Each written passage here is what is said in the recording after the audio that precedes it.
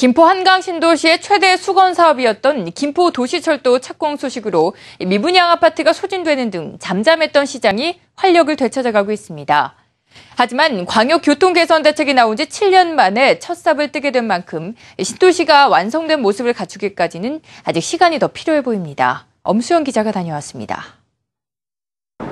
서울 여의도에서 올림픽대로와 김포 한강로를 거쳐 승용차로 30여 분 달려 다 다른 김포 한강 신도시.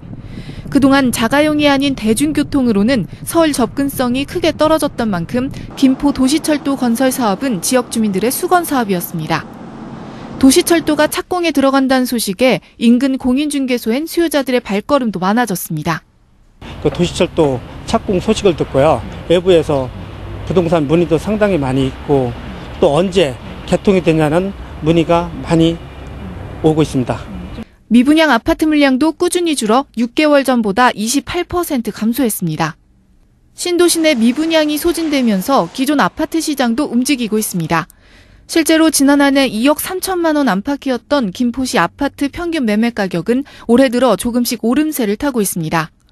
하지만 올 봄만 해도 4,500여 가구가 입주를 시작하는데 도시철도 개통까진 앞으로 4년이 더 걸려 입주민들의 불편은 당분간 지속될 전망입니다.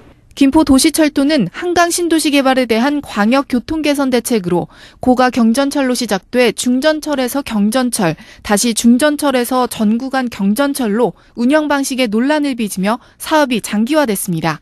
도시가 완성되면서 가장 중요한 그 도시 기반 시설, 특히 이 도로나 철도 부분이 아직까지 미진하다는 것은 이 김포 한강 신도시의 입주민들로 봤을 때는 상당 부분 어, 분양 광고에서 나와 있던 이런 것들이 현실화되지 않기 때문에 착공 8년 만인 올해 말 조성이 완료되는 한강 신도시는 글로벌 금융위기의 직격탄을 맞고 도시철도 건설도 표류하면서 그동안 외면을 받아왔습니다.